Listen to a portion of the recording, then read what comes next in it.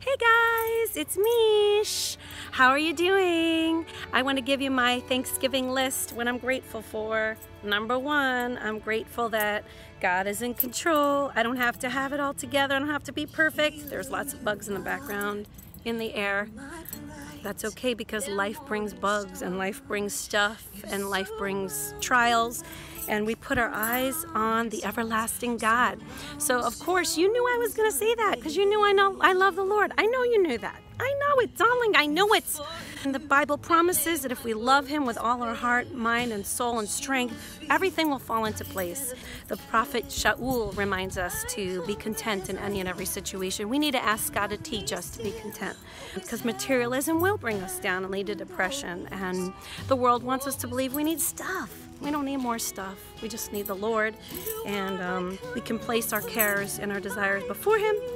And I believe that He will give us what we need, if not maybe even also what we want. um, he's certainly given me what I want.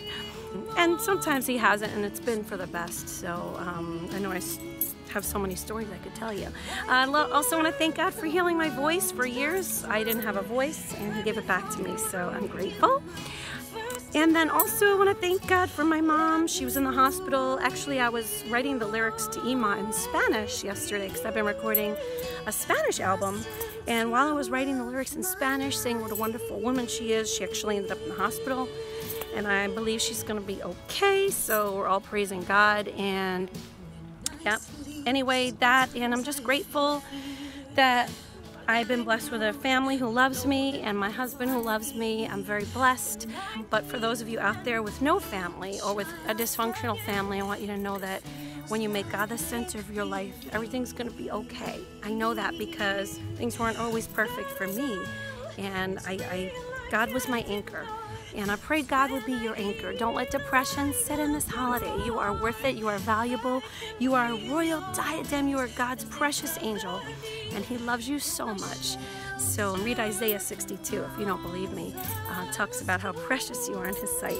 Anyway, I'm thankful. And I'm thankful for you. I'm thankful for friendships. I'm thankful for my support group because it's there where I could share my heart and get the right perspective so that I can set my mind on things that really matter. Anyway, that's about it. I'm grateful that I have so many people that keep watching my videos, even though I'm not putting out like amazing content. I mean, I have the big budget to make these huge videos in Israel and Cuba and El Salvador and wherever I go. I just trust God that you know I'm doing the work of the Lord and that I love Him and I'm serving His people one day at a time everywhere I go. And here's the ducks to say hello.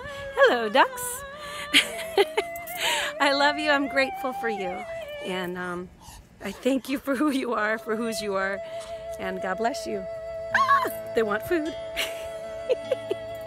Shalom.